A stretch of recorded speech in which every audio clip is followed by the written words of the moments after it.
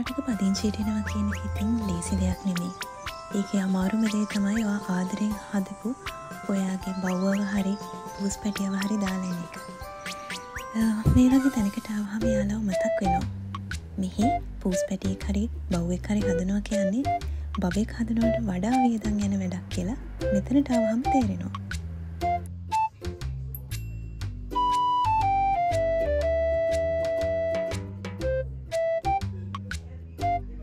ගෙදර පෙට් කෙනෙක් නවන අනිවාරයෙන් එන්න ඕනි තැනක් තමයි මේ. ඉතින් මේ ස්ටෝයිකේ තියෙන්නේ ඔක්කොම පෙට්ලට ඕනි කරන දේවල්.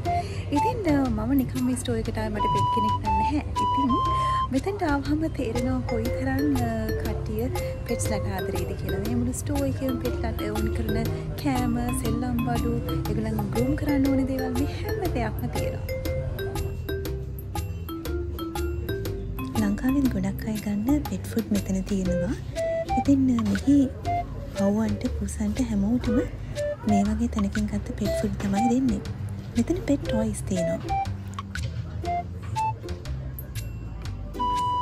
මේ වගේ ටොයිස් ගොඩක් අය ගන්නවා. එයාලගේ පෙට්ලට මේ තියන්නේ පෙට් බෙඩ්ස් ඉතින් මෙහි ටිකක් සීතල නිසා පෙට්ල මේ බෙඩ්ස් වලට කැමති බිමිනි දියන්න අමාරුවනි සීත කාලේ ඉතින් මේ වගේ තැනකන දියන්න තමයි ඉගොල්ල කැමති පෙක් බෙඩ්සුත් ඩොල එකසි ගඩන් වලිදන් තියෙනවා. ළඟට නත්තල් කාලෙට ඔයාගේ පෙට්ට පුදුම කරන්න නත්තල්ට ගැලපෙන ටොයිසුත් මෙතන තිබ්බා.